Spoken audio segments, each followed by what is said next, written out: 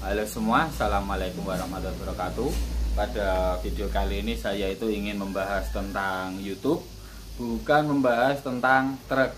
Jadi aku itu ingin sedikit berbagi Karena memang dari teman-teman itu banyak yang bertanya tentang YouTube juga Tapi saya itu jarang menjawabnya. Jadi kali ini saya itu ingin menjawab tentang subscriber jadi untuk subscriber itu kan menjadi syarat utama untuk kita bisa dimonetisasi. Kita bisa mendapatkan iklan. Jadi untuk syarat YouTube kan kita punya 1000 subscriber sama 4000 jam tayang. Jadi itu harus kita penuhi baru nanti kita bisa monetisasi dan selanjutnya kita daftar AdSense, kita bisa mendapatkan uang. Jadi waktu itu tepat ada satu tahun yang lalu saya yang awal nge YouTube kan juga pas sebelum puasa mendekati puasa puasa kurang berapa hari gitu aku pertama kali membuat video di YouTube. Jadi waktu itu aku begini angan-angan planning saya itu untuk tahun satu tahun satu tahun jadi tahun ini itu saya berhasil mendapatkan 1000 subscriber dan 4000 jam tayang. Saya udah masuk bisa dimonetisasi bisa dapat iklan. Tapi alhamdulillah tepat satu tahun sampai sekarang ya itu alhamdulillah banget berkat teman-teman semua. Itu subscriber udah ada 42.000 jadi alhamdulillah banget saya satu tahun bisa dapat 42.000 subscriber. Terus aku mendapatkan subscriber sampai 1000 itu berapa bulan? Jadi waktu itu aku mendapatkan seri, lebih dari 1000 subscriber itu cuman membutuhkan waktu satu setengah bulan itu aku udah dapat 1000 subscriber lebih. Tapi waktu itu untuk untuk jam tayangnya menyusul. Jadi dapat 1000 subscriber dulu terus untuk jam tayangnya itu malah menyusul. Jadi aku menunggu 4000 jam tayangnya itu belakangan. Baru setelah itu aturan selang satu minggu apa dua minggu bisa dimonetisasi. Monetisasi ya. Tapi waktu itu aku sampai menunggu ada empat bulan 4 bulan baru bisa mendapatkan menetes dapat iklan. Habis itu tiga bulan selanjutnya saya itu mendapatkan pin Google AdSense.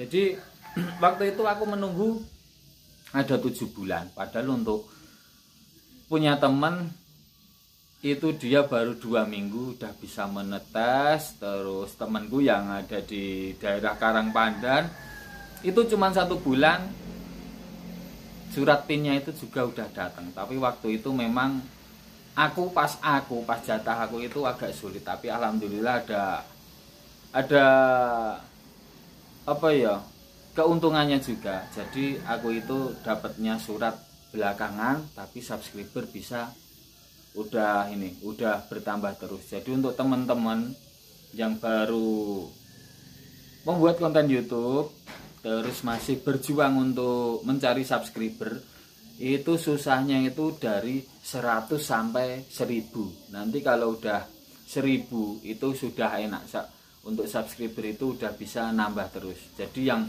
begitu berat itu 100 sampai 1000 karena terasa berat itu karena memang syaratnya. Jadi syaratnya kan 1000 jadi kalau kita udah mendapat lebih dari 1000 itu kan pikiran kita udah enggak enggak begitu mengejar untuk subscribe. Karena untuk syarat monetis kan sudah sudah ini. Ya sudah terpenuhi untuk subscribernya. Tinggal mengejar untuk jam tayangnya. Terus untuk teman-teman yang masih berjuang mengejar subscribe sama 4000 jam tayang itu kuncinya itu kita tidak bosan-bosan mengupload video jadi yang penting kita itu bisa konsisten. Usahakan setiap hari kita itu bisa upload video. Terus yo jangan putus asa.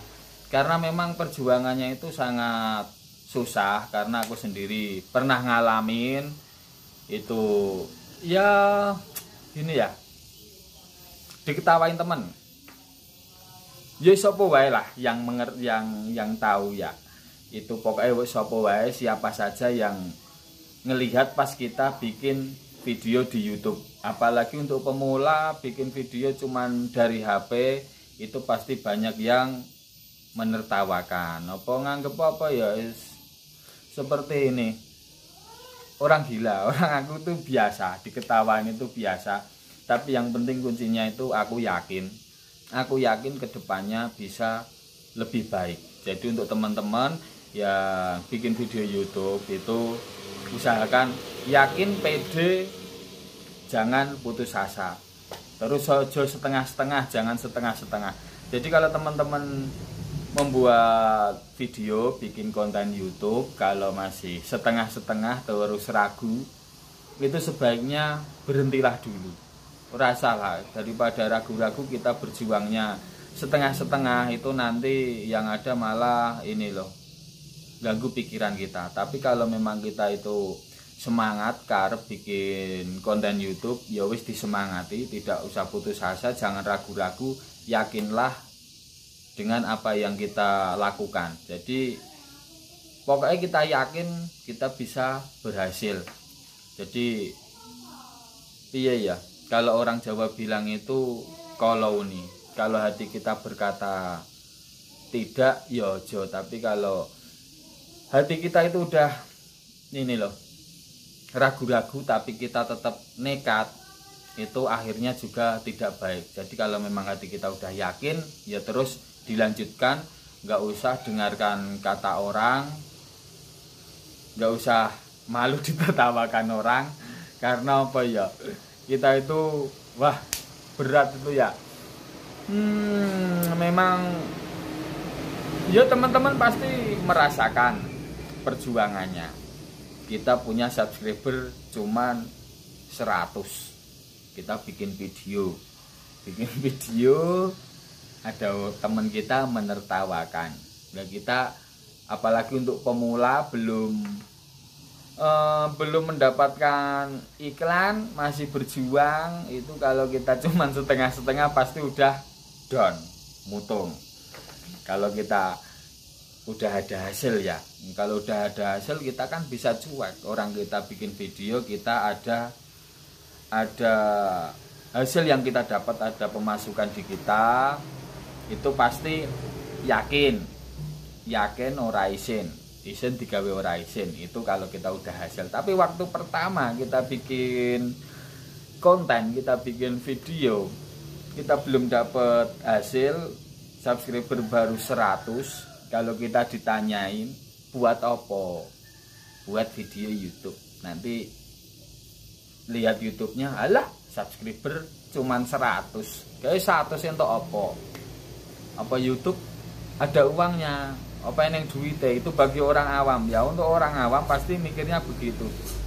Orang kita cuman bikin video kok bisa dapat uang. Itu uang dari mana? Itu untuk orang yang nggak paham. Tapi kalau untuk yang udah paham itu ya pasti ngasih support semangat semangat atau gawe video. Semoga bisa sukses.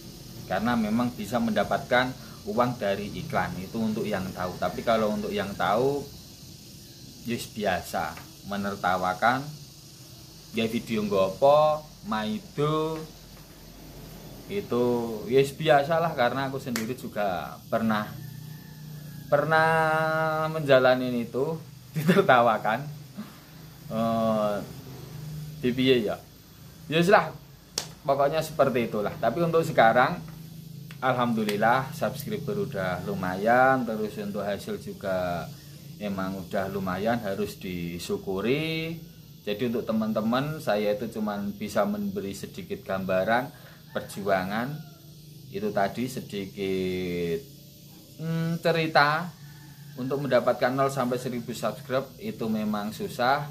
Terus untuk caranya yang penting kita konsisten. Jangan lupa kita konsisten upload, upload terus setiap hari. Jangan males-malesan kalau memang kita tujuannya baik kenapa enggak?